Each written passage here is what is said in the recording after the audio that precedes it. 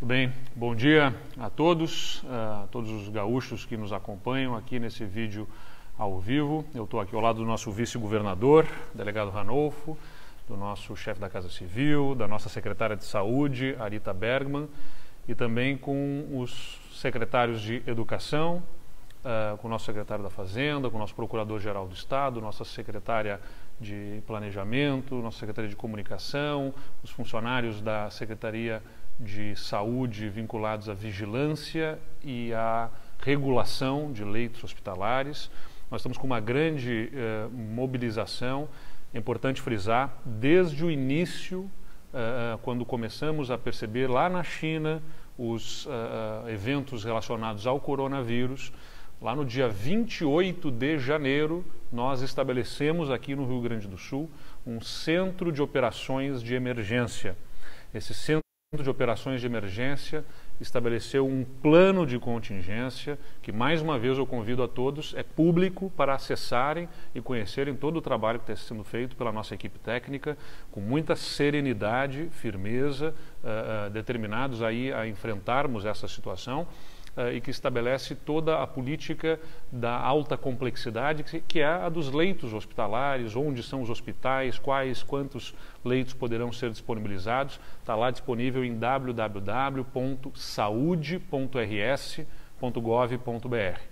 Uh, barra coronavírus ainda, se você quiser ir diretamente já ao, ao, ao link né, que uh, apresenta essa, essa política do nosso centro de operações de emergência com todo o plano de contingência. Agora, acompanhando a evolução né, no mundo e no Brasil, nós temos nos reunido mais frequentemente nesses últimos dias. Uh, inclusive ontem estive reunido com a equipe técnica, no domingo mesmo, do COI, do Centro de Operações de Emergência, avaliando dados, fazendo as projeções uh, com a nossa equipe de, de estatística, analisando o que está acontecendo no mundo e por isso estamos tomando novas providências. Na semana passada nós já publicamos um decreto com restrições dentro do próprio serviço público, suspendendo viagens, suspendendo eventos, uh, tudo aquilo que pudesse ser adiado, sendo cancelado dentro do governo e agora estamos passando a uma nova etapa. É importante dizer, não há motivo para pânico. Né? Não há motivo para pânico. Todas essas políticas estão sendo estabelecidas para que nós possamos retardar o avanço da disseminação do vírus. Uh, não há uma expectativa de que se contenha, de não termos o vírus uh, uh, sendo disseminado. A questão é disseminar esse contágio no limite da capacidade da, da nossa infraestrutura de saúde para atender aqueles casos mais graves. Então é importante dizer, nós vamos observar um aumento do número de casos de infectados com o coronavírus.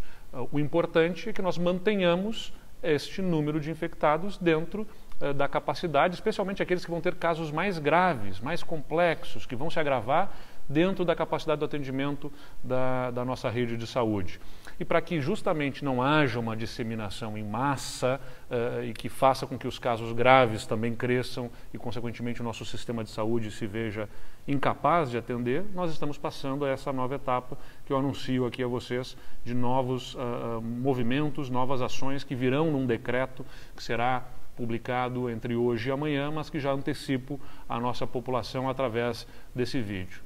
Nós vamos sim suspender as aulas na rede pública de ensino. Uh, a rede pública de ensino do Estado vai ter a suspensão das aulas a partir da próxima quinta-feira.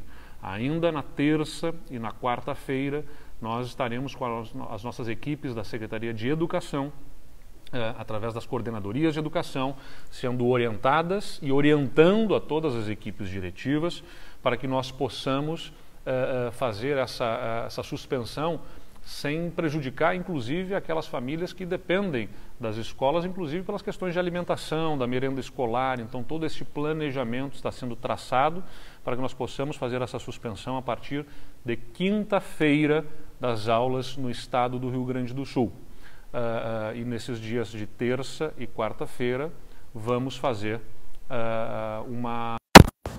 o áudio está com um problema? Então, mais uma vez, nós estamos fazendo a suspensão da, do, das aulas a partir da próxima quinta-feira uh, para a rede pública de ensino do Estado.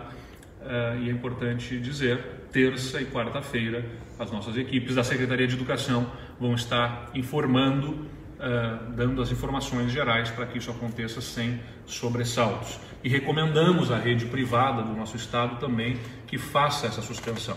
Mais uma vez, insisto, não é motivo de pânico, é uma demonstração importante para que as pessoas redobrem os seus cuidados, para que nós possamos eh, diminuir a velocidade da disseminação do vírus e assim mantenhamos os casos complexos dentro da capacidade do atendimento da nossa rede. É isso basicamente que nós estamos fazendo. Diminuindo a circulação de pessoas, diminuindo o contato, a gente diminui a exposição e, consequentemente, vai avançar mais lentamente a disseminação do vírus, mas não é sobre esperarmos não ter casos de coronavírus no Rio Grande do Sul. Esse vírus vai uh, atingir a população, vai ter uma disseminação. O importante é que aconteça na velocidade capaz de ser atendidos no nosso, nos nossos hospitais.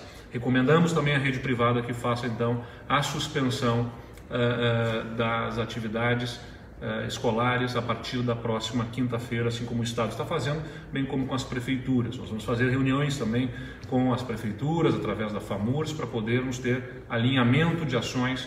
Eh, já há uma, uma ligação importante da nossa equipe da Secretaria de Saúde com eh, as secretarias de saúde dos municípios e vamos intensificar isso nos próximos dias.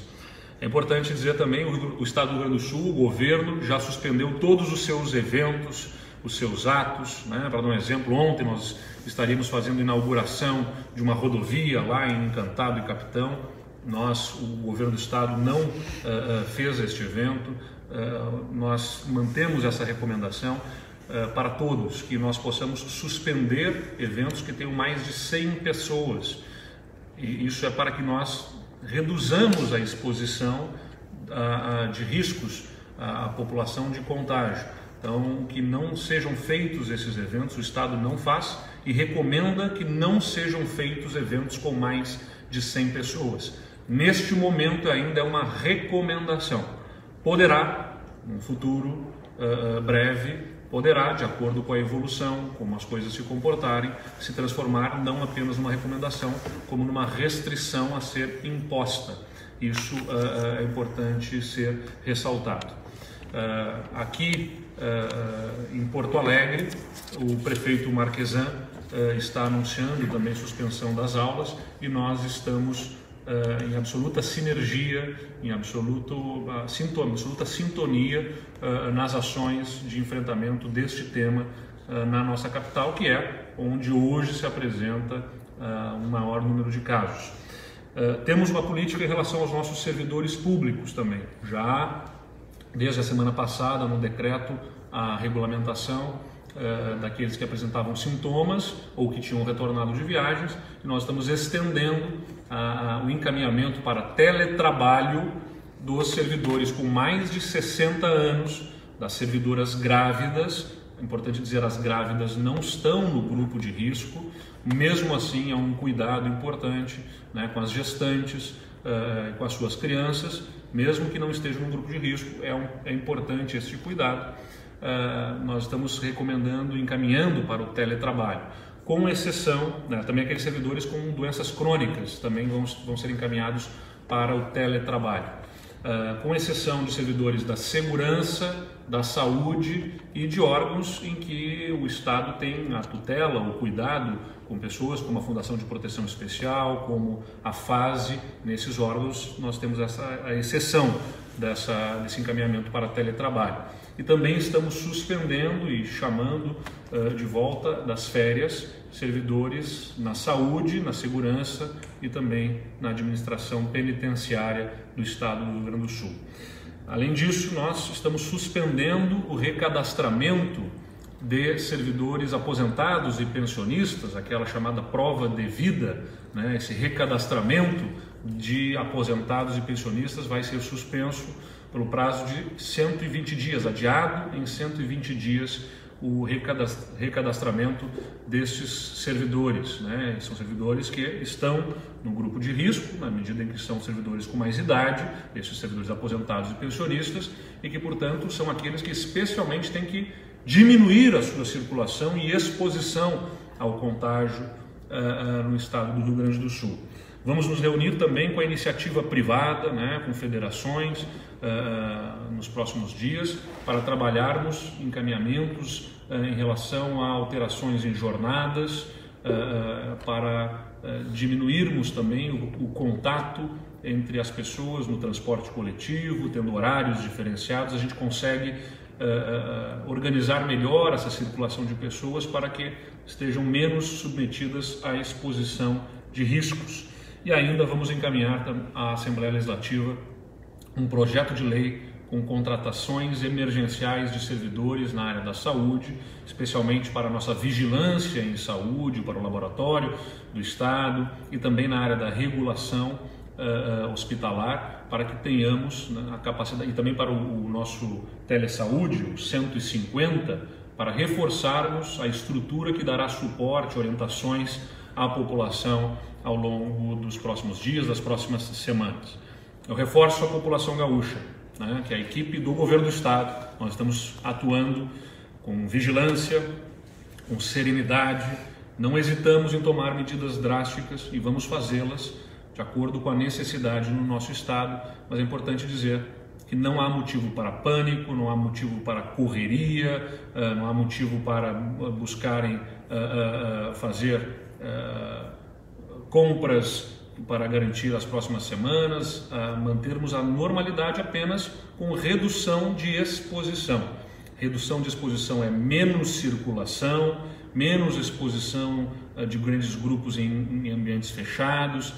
É importante salientar mais uma vez a prevenção a partir da chamada etiqueta respiratória, ou seja, uh, espirrar e tossir num lenço ou sobre o braço para não permitir que se dissemine no ambiente uh, a partir das suas pequenas secreções respiratórias, né, gotículas que possam se espalhar com o vírus contaminando pessoas à sua volta. Uh, é importante lavar as mãos frequentemente e entre os períodos que você está sem ter lavado as mãos, não levar as mãos ao rosto, na boca, no nariz, nos olhos, são as áreas onde especialmente as mucosas absorvem eh, essas gotículas, essa, uh, o vírus e que, portanto, fazem a, efetivamente a contaminação. Então, não é só sobre lavar as mãos, é sobre não levá-las às áreas do rosto em que especialmente você se submete a contrair o, o vírus. Uh, é importante saber eh, até sobre a questão da, da, do não cumprimentar, não abraçar, dispensar esse comportamento, eh, não é apenas em respeito à sua saúde, é em respeito à saúde dos outros. Você pode ser eventualmente portador do coronavírus sem saber, por estar sem sintomas, e pode estar transmitindo para pessoas à sua volta. Então, quando você dispensa o cumprimento, é para se proteger e também para proteger os outros. É claro que a gente gosta de cumprimentar, o povo brasileiro, o povo gaúcho é afetivo, a gente sabe disso. Vamos pensar aí que a gente vai ter um período para ter aquela saudade, para no reencontro dar o abraço apertado novamente, sem maiores riscos, mas neste período vamos manter hábitos que permitam uh, não haver uh, disseminação no, do, do vírus além da capacidade do nosso sistema de saúde. Ambientes ventilados, não estar em lugares com grande concentração de pessoas e se você estiver com sintomas, fique em casa, né? se recolha, não, não exponha outras pessoas, especialmente os, os, os mais velhos, os mais idosos, os seus avós, uh, uh, os, seus, seus parentes, seus amigos de mais idade. é o momento de nós protegermos a esse público, especialmente onde há um nível maior de letalidade. Então, mais uma vez, povo gaúcho, eh, nós estamos com serenidade, mas com a firmeza necessária, o governo do Estado, para enfrentarmos essa situação eh, e podermos superar este momento nas próximas semanas. Precisamos da colaboração de todos e estão todos eh, convocados para, junto conosco, enfrentarmos esta situação restringindo circulação, lavando as mãos constantemente, aqueles que têm estabelecimentos eh, de circulação de pessoas privados ou públicos, no caso dos estabelecimentos públicos, com ordem do nosso decreto, a recomendação para os estabelecimentos privados reforçarem a limpeza constante de todos os objetos que são manuseados, manipulados pelas pessoas, né? Uh, no transporte também, constantemente limpar superfícies e tudo mais para que nós possamos uh, uh, ter menos contágio no estado do Rio Grande do Sul. Contamos com a colaboração de todos e agradeço a atenção que nos dispensaram. Nós vamos vencer este momento no Rio Grande do Sul e certamente no mundo.